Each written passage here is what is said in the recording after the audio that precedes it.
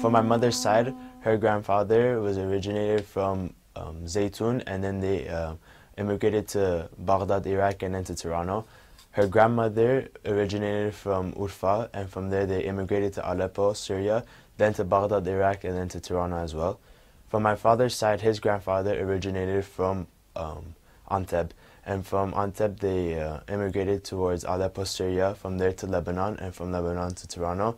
And then my and his grandmother originated from Urfa as well, and they uh, immigrated to um, Aleppo, Syria, and from Aleppo, Syria to Lebanon, and then to, to Toronto. My family's relation to the Armenian genocide is similar to the past reflection to what happened to everybody in the Armenian genocide. They went through some tragic uh, events. They lost a lot of family members and friends, um, and they lost their identity in the mix of the genocide. Uh, a bunch of my family members survived through uh, harsh terrains. They had to go through mountainous areas, and they had to live and feed off of what they can find and survive of.